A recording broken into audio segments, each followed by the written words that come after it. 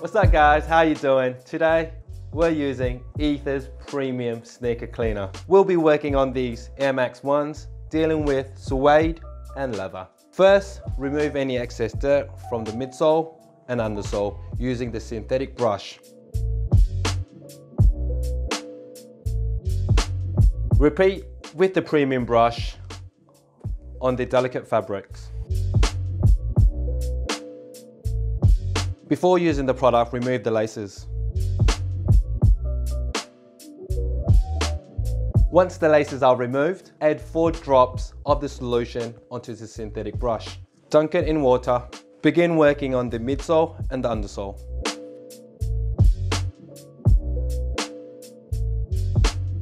Using the microfiber cloth just to remove any excess water from the midsole once again and the undersole.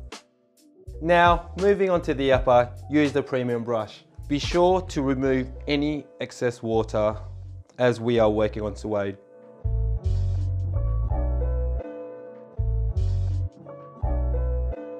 Using the microfiber cloth, removing any excess water. That's all there is to it. Moving on to the second shoe.